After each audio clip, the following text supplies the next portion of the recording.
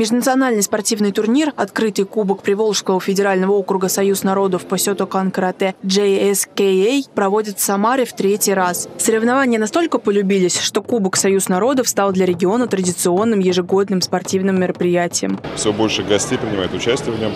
А в этом году был заявлен свыше 350 человек с разных городов, с разных даже стран, которые планируют сюда приехать. Поэтому мероприятие уникальное в своем роде так как оно объединяет достаточно большое количество детей разных национальностей, показывая о том, что спорт не имеет границ, спорт для всех абсолютно одинаков.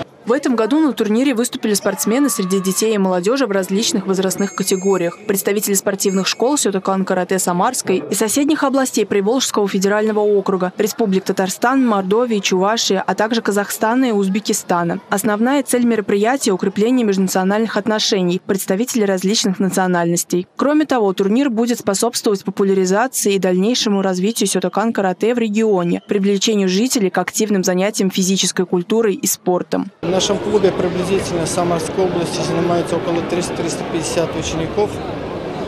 И развиваются не только физически, но и психологически, патриотически, потому что психологическая подготовка именно каждого спортсмена – это очень важный термин для каждого тренера. Инициаторами и организаторами являются Самарская региональная общественная организация, Армянская община и региональная общественная организация «Союз народов Самарской области». Мероприятие проводится при поддержке администрации Самары. Александра Гусева, Василий Колдашов. События.